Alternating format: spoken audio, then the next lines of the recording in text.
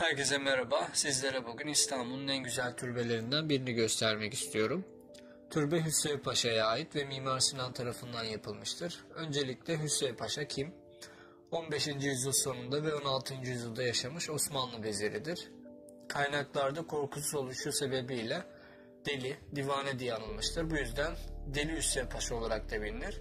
1544 yılında vefat etmiştir. Türbe Fatih'te Hüseyin Paşa sokakta yer almakta. Bu semtin tarihi ismi Yeni Bahçe'dir ve eskiden çok itibarlı bir semtti. Hatta Mimar Sinan Mescidini de buraya yaptırmıştır. Hüseyin Paşa Türbesi Mimar Sinan'ın ilk yapılarından biridir. Genelde Sinan'ın ünlü kişiler için yaptığı türbeler sadedir. Fakat burası Şehzade Camii'nde olduğu gibi ki Sinan'ın yaptığı ilk Selahattin Cami Külliyesidir. Dış süslemeye önem verdiği bir yer olmuştur. Türbe kapısı üzerindeki kitabelerden ilkinde Mezarı Hüseyin Paşa rahmetullahi aleyh yani Hüseyin Paşa'nın mezarı Allah'ın rahmeti üzerine olsun yazmakta. Altındaki iki satırlık kitabede ise Hak kıyamette inayet eylesin, Mustafa ana şefaat eylesin, İşidenler dediler tarihini, daim Allah ana rahmet eylesin.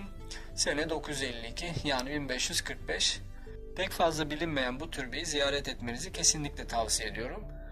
Video izlediğiniz için teşekkürler. Tekrar görüşmek üzere.